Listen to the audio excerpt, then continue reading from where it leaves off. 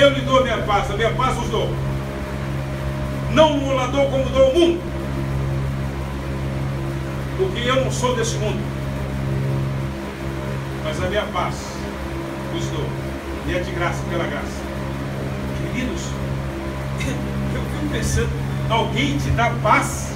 A única paz que eu consigo ter é com Jesus. É só Ele que consegue me trazer uma tranquilidade que compete o milagre de ser velho e achar novo, de ser feio e julgar bonito, e ter o dom, e, enquanto eu seguir a palavra dele, de pregar a palavra, de não se perder, de não aumentar aquilo que não existe, de não criar regras pessoais, de seguir o que o mandamento faz, porque Deus escrevia assim, ó. Somos barro e o Senhor nosso olheiro. Repete comigo, somos barro e o Senhor é o nosso olheiro. Na olaria do Senhor, no processo de reconstrução, de remodelagem, é muito doloroso para mim e para você. Dói muito, porque não encaixamos no modo que Deus está usando. Deus continua trabalhando em nós, aparando as nossas atitudes más, a nossa falta de autenticidade, a nossa mentalidade errada, nos moldando e remodelando a todos nós. Então, note bem, se eu sou um quadrado e quero entrar num redondo, eu vou, vou ter que separar dele. Você está disposto a se mudar? Porque, note bem, todo, toda pessoa que mora no interior e tem uma rocinha, no mês de julho, agosto, ele vai lá e faz a poda, fala assim, fazer a poda. Sabe o que significa a poda? É corte mesmo na própria carne. É tirar aqueles gravetos que estão incomodando a árvore é deixar ela sangrar. E aí ela brota e nasce nova semente.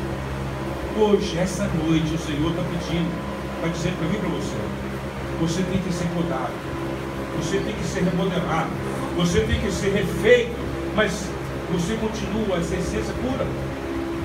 É, precisamos nos adaptarmos. Não é que eu posso ter um dedo inquisidor para você e falar que você está errado, não. É eu descobrir que eu preciso mudar é chegar no Senhor e dizer: Eis-me aqui, Senhor, eu estou disposto a mudar. Essa vida eu não quero mais para mim. Eu quero ter uma vida de paz, porque eu não tenho paz, eu não consigo dormir. Queridos, existe algo tão desagradável de você não conseguir dormir, ficar até três horas da manhã nessa maldita Facebook, nesse lixo, e você sem saber virar robô, e aí você levanta de manhã morrendo de sono. Como que você tem cérebro para resolver os seus problemas com sono, cansado? o filho. Isso é o nosso inferno. Essa é a nossa angústia. Isso nós resolvemos hoje, essa noite. É no joelho, Senhor. Eu preciso ser purificado.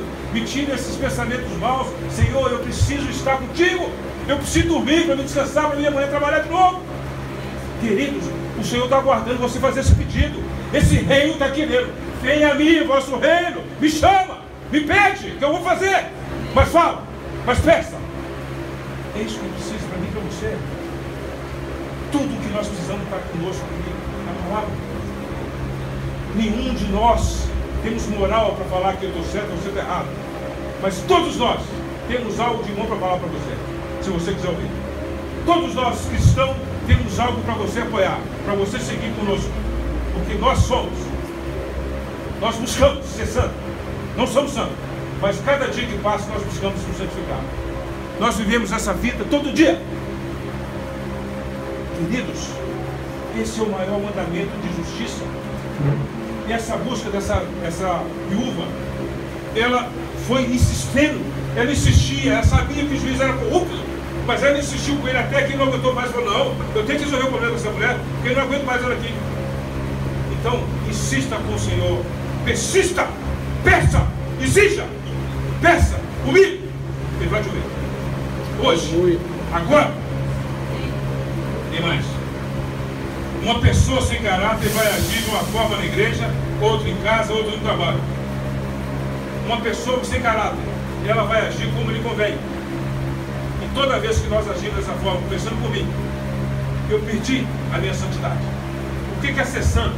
É se afastar do mal. Qualquer mal. A santidade não é ter uma auréola na cabeça, não. A santidade é você estar buscando a imagem e semelhança de Jesus dentro de você. é você agir com o exemplo dele. Qual é o exemplo mais verdadeiro de Jesus? Longanimidade, paciência, amor verdadeiro, desprover de qualquer tipo de interesse material. Ele andava sujo, ele não tinha casa, não tinha nada, dormia na rua, no relento, nunca passou fome. O diabo tentou ele 40 dias, ele quase morreu, mas ele resistiu. É o que acontece conosco. Aí, o Senhor veio na carne, veio como carne, justamente para que nós pudéssemos ser igual a Ele. E outra coisa, querido, se nós morrermos em Cristo, seremos ressuscitados também. Se você não crê nisso, não adianta você ser cristão, você não é. A maior semelhança de Jesus é essa, eu acreditar tem algo mais importante do que esse aqui nessa vida para mim. Se o Senhor me levar, eu vou ser amanhã, quando Ele voltar, eu serei arrebatado. E aqueles que são da premissa serão primeiros ainda, porque existe três tipos de cristão. Aqueles que são da premissa, aqueles que serão chamados e aqueles que ainda poderão ser recuperados se buscarem o Senhor enquanto tiver tempo. Tem mais. Eu escrevi assim.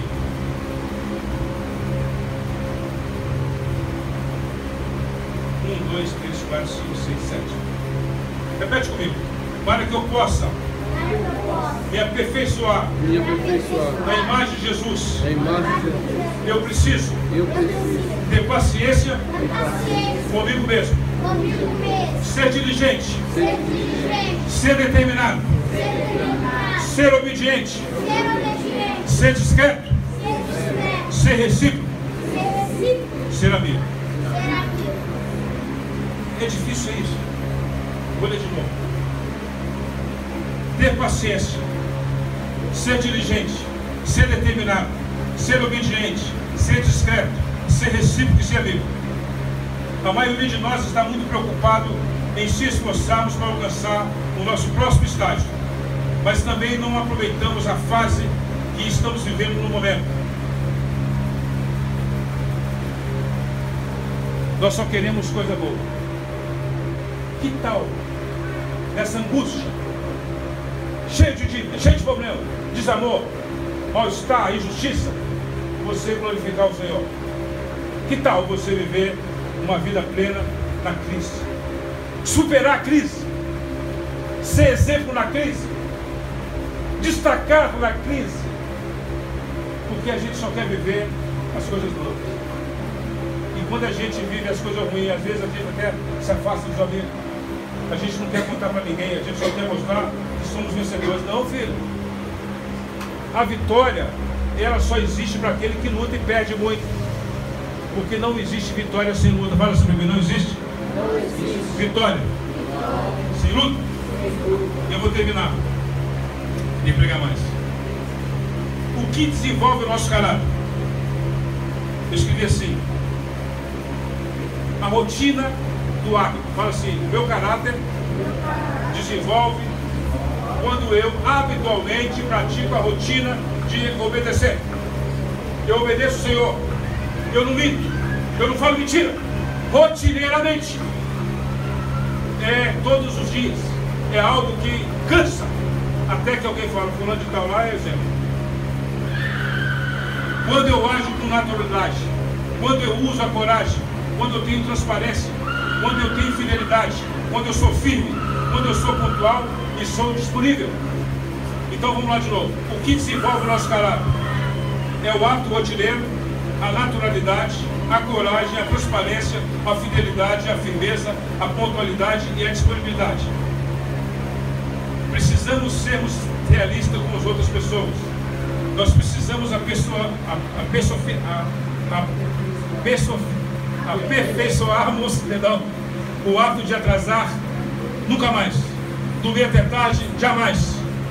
Não gostar de ler a Bíblia, nunca. Não gostar de colaborar, nunca. Criticar, jamais. E falar, menos.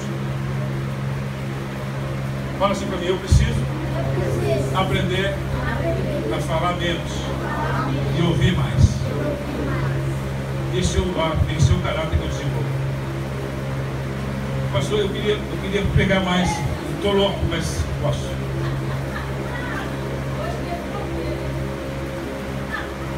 Eu vou terminar escrito assim, olha. O nosso caráter é visto no esforço que temos, que fazemos para avaliar aquilo que é certo, mesmo quando não queremos fazer. Repete comigo. O nosso caráter O nosso caráter é aparece e aparece quando nos esforçamos naquilo que temos que fazer e realizar, mesmo que sendo certo e não queremos fazer. Porque muitas vezes o certo nos machuca. O certo é prejuízo para mim e para você. O certo é para eles, não para mim. Aí eu não quero fazer. Mas o caráter me obriga a fazer. Segundo, muitos de nós vivemos para agradar os homens.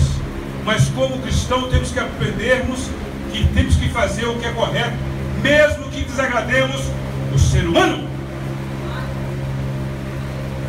Eu vou ter mostrar um exemplo. Uma das coisas que a gente faz para agradar o ser humano, a mulher, o marido chega às 11 horas da noite em casa. Ela tem que levantar e fazer a comida dele. Ela faz isso todos os dias. Vou contar uma, uma parábola para você. Existia um casal padeiro. Fazia um bolo maravilhoso e um pão fantástico. E eles faziam tanto bem esse pão e esse bolo que fizeram uma festa para eles na rua. Chamaram a televisão. Eu acho que foi a Record que gosta de falar qualquer coisa. Aquele Eduardo Costa fala qualquer coisa. Até o cachorro que, que, que faz assim, o dente, ele, ele gosta lá. Mas essa pessoa chegou e chamou o cara. Perguntou para ele, ô filho, sua esposa eu queria saber com você, qual é o segredo que você faz esse bolo tão fantástico? E todo mundo gosta dele. A sua esposa está com você há 25 anos e está sempre feliz. Tem algum paralelo entre o pão e, e a sua esposa? Ah, você descobriu o segredo, o cara falou. Sabe o que acontece? Eu, o dia que eu casei com minha esposa, eu cheguei perto dele e falei, ô esposa, eu gosto daquele pedacinho da bengala, aquele primeira parte da bengala. Mas como você é o amor da minha vida, todo dia eu vou te dar essa parte. Então você acha que a sua relacionamento com ela é isso? Ah, eu tenho certeza absoluta. Ela come com a cara tão boa que é maravilhoso para mim.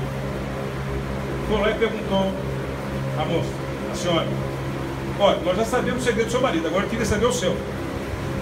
Por que, que a senhora vive tão feliz com o seu marido? Tem algum segredo com esse pão que vocês fazem com o bolo? Ela falou, olha, meu avô, meu bisavô, meu trisavô, meus pais, todos eles só fizeram bolo. Lá na minha casa ninguém gosta de pão. A gente só gosta de bolo. Mas eu casei com meu marido. E no primeiro dia que eu casei com ele, ele foi lá e pegou a parte da bengala e falou para mim, amor, eu, eu adoro pão e a partir de hoje eu quero que você come esse pão, porque é o amor meu para você, minha prova de amor. E eu, em respeito a ele, eu como esse pão todo dia, mas eu detesto pão. Eu não gosto de pão.